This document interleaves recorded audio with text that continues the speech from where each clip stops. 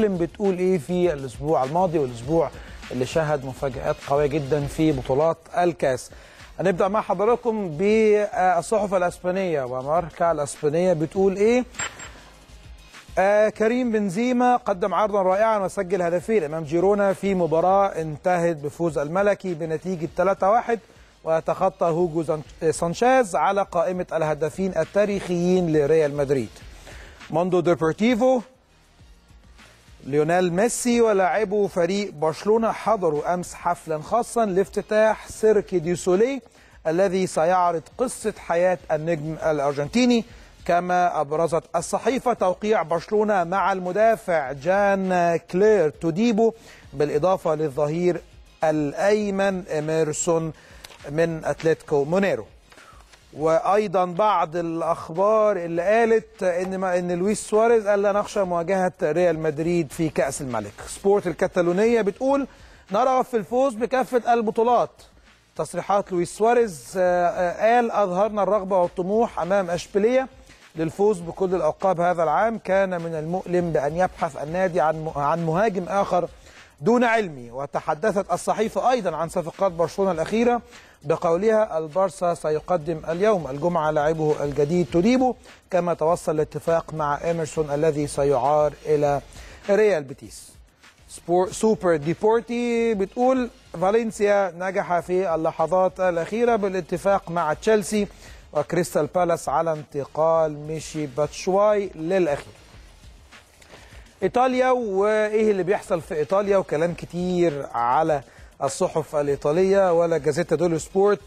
بياتيك ده طبعا المهاجم البولندي اللي انتقل أخيرا من آآ آآ إلى ميلان ونجح في مباراة نابولي الأخيرة إنه يحرز هدفين في المباراه اللي انتهت ما بين ميلان ونابولي 2-0 صفقة أعتقد كلفت خزينة ميلان حوالي 30 مليون يورو وبياتيك أفضل توقيع في الميركاتو الشتوي الإيطالي. خيبة أمل للإنتر بعد توديع كأس إيطاليا على يد لاتسيو ورصد أنطونيو كونتي بالقرب من مكاتب إنتر ميلان وسط توقعات بقرب رحيل إسباليتي. كوريري دولو سبورت بتقول سان سيرو لاتسيو يقصي انتر ميلان بركلات الترجيح.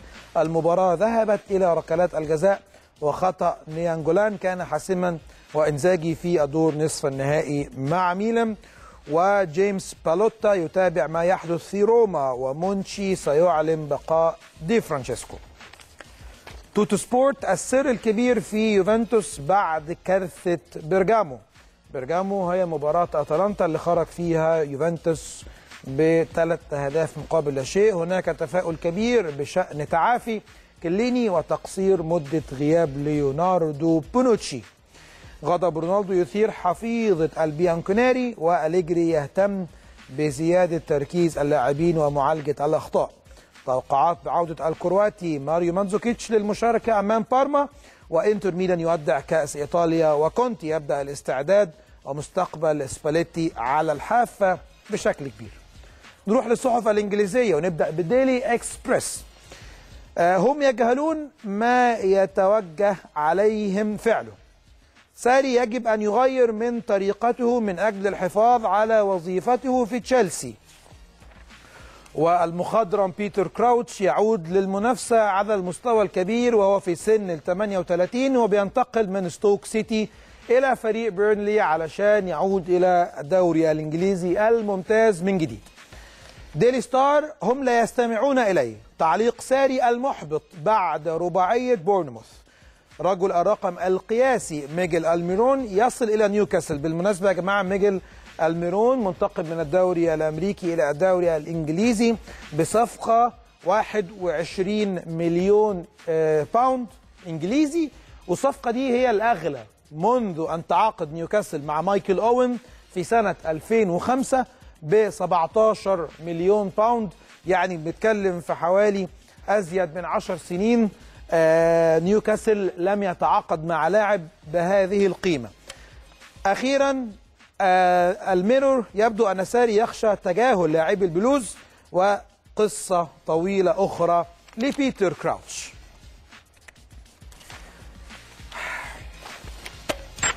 خلصنا مع حضراتكم أخبار الصحف العالمية. تعالوا نشوف ونتابع إزاي الأسبوع الجديد هيبدأ من خلال ترتيب جداول الدوريات والمباريات القادمة في بطولات الدوري. هنبدأ مع حضراتكم بالدوري الإنجليزي الممتاز وجدول الترتيب. زي ما حضراتكم شايفين ليفربول في المركز الأول ب 61 نقطة مانشستر سيتي في المركز الثاني ب 56 نقطة وتوتنهام هوتسبيرز في المركز الثالث 54 نقطة وأرسنال في المركز الرابع 47 نقطة معاه في عدد النقاط. فريق تشيلسي في المركز الخامس ب 47 نقطة. نروح للجدول الأسباني وبرشلونة في صدارة الترتيب ب 49 نقطة. يليه أتلتيكو مدريد ب 44 نقطة.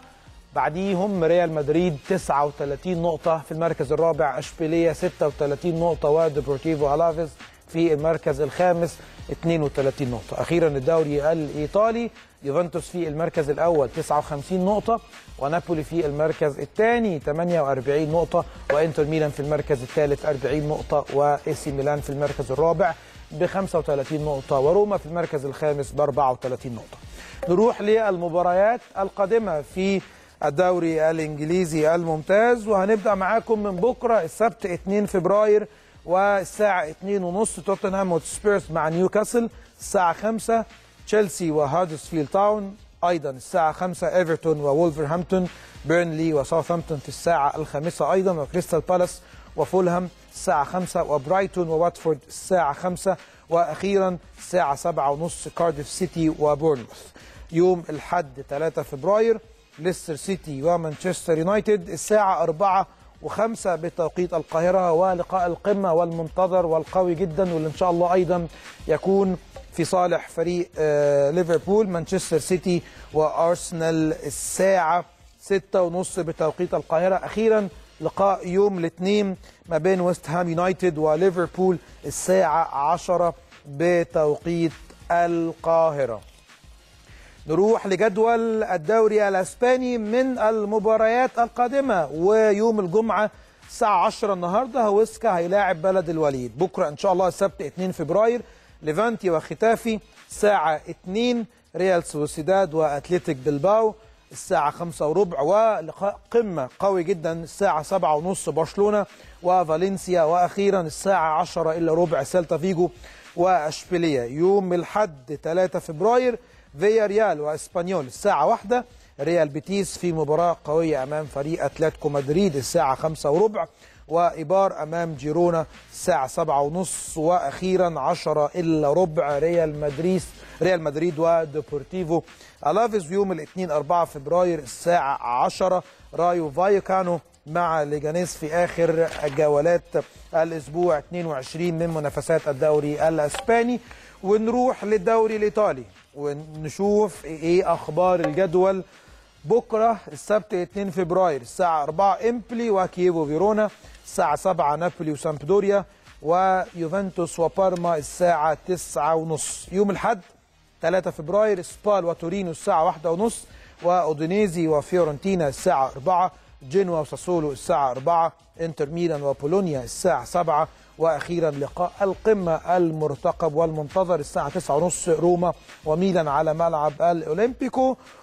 وهنرجع بقى ل نتابع علشان خاطر نجمنا المصري محمد صلاح نشوف هدافي الدوريات الكبرى ونروح للدوري الإنجليزي ونبدأ معاكم بنجمنا المصري محمد صلاح اللي عنده 16 هدف في الدوري الإنجليزي.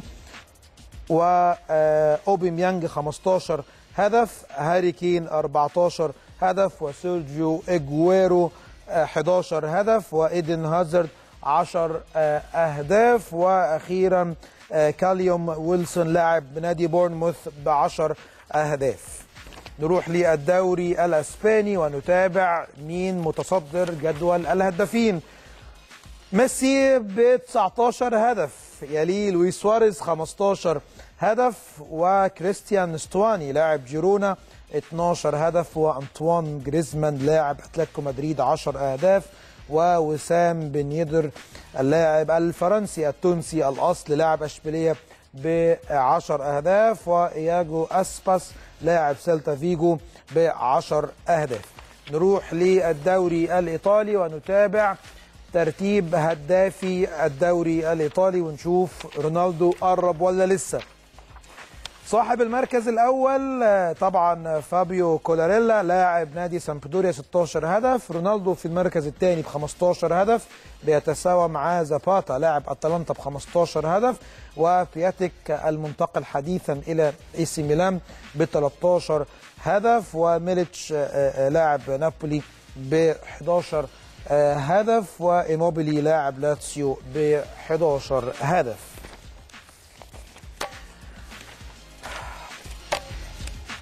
كده إحنا خلصنا مع حضراتكم ترتيب جداول والمواجهات القادمة وأيضا هدافي الدوري العالميه أو الدوريات العالمية.